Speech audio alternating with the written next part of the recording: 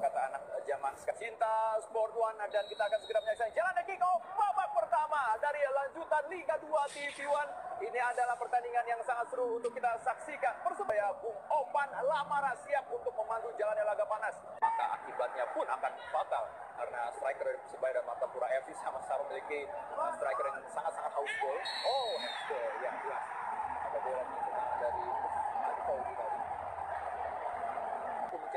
gol ke-8 ya untuk Persebaya Surabaya. Tim baju hijau pastinya membuat Green Force dan juga para pendukungnya Bonek Mania akan bergemuruh kali ini.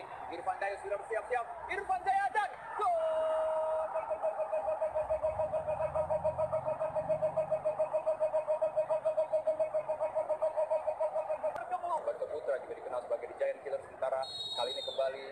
dan bebas Irfan Jaya sudah lakukan. Oh, terlalu rendah dan oh, gol!